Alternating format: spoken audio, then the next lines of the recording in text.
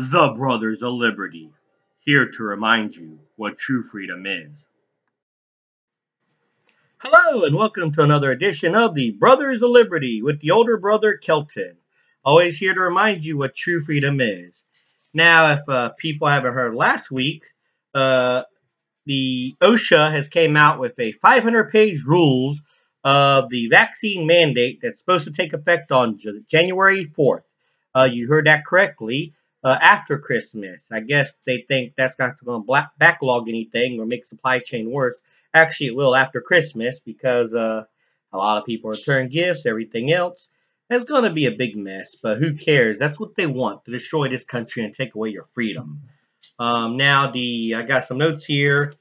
Uh, if there's no vaccination, it's going to be there. Have the employees test weekly. It's going to affect people employers with over 100 employees, well, that's the start. I guarantee it's going to trickle down to small mom and pops and everybody else to the point where we don't even care if you're working from home. You got to take the vaccine because this government loves to do overreach and loves to take away freedom of choice away. Unless, of course, it's abortion. You can kill, murder a baby, but you can't uh, uh, ignore a vaccine.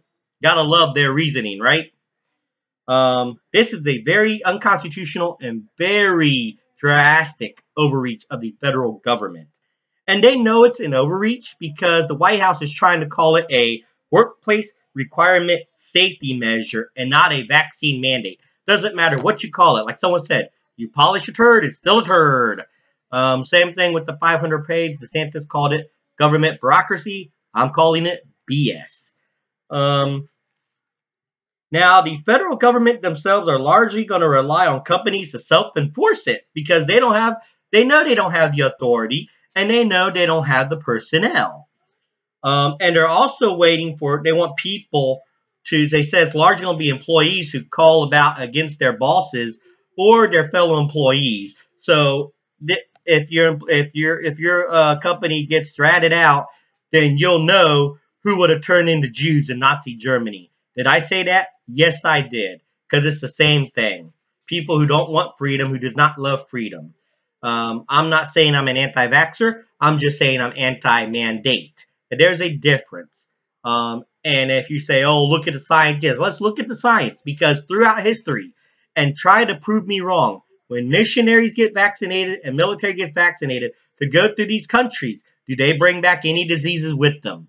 No, it just affects the people who are unvaccinated. So you can't say it affects the vaccinated.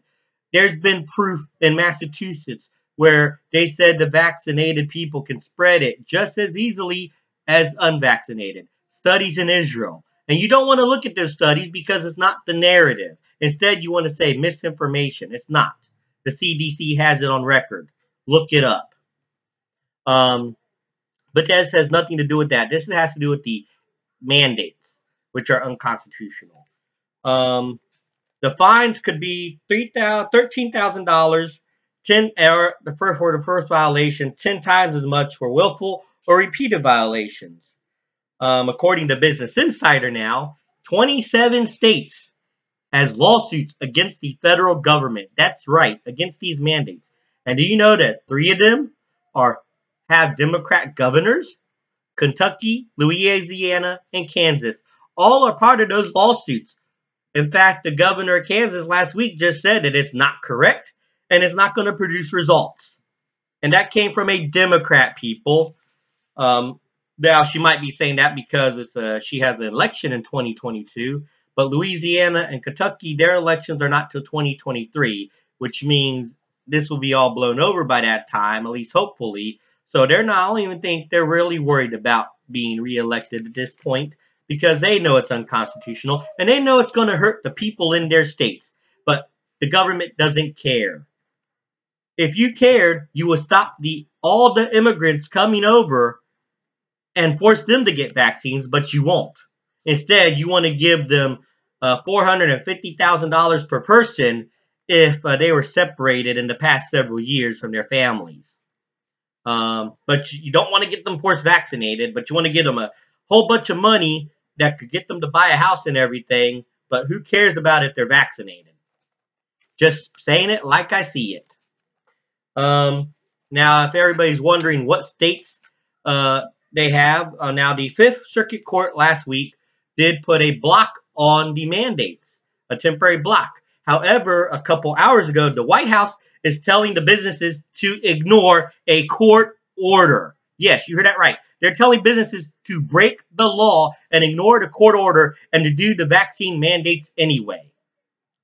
This is the government that is supposed to be representing the people and law, and it's saying to ignore the law.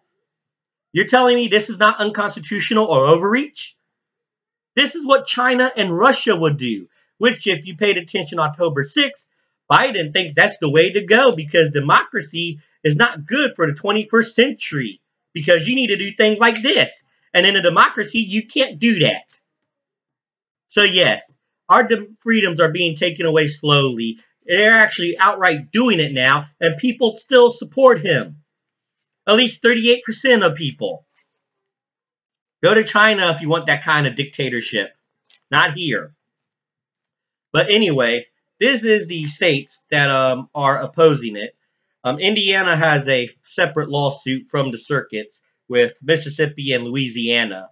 But in the when you go through the circuit courts of appeals and petition, you got in the Eighth Circuit Court, you got Missouri, Arizona, Nebraska, Montana, Arkansas, Iowa, North Dakota, South Dakota, Alaska, New Hampshire, and Wyoming. In the Sixth Court Circuit Court, you have Kentucky, Idaho, Kansas, Ohio, Oklahoma, Tennessee, and West Virginia.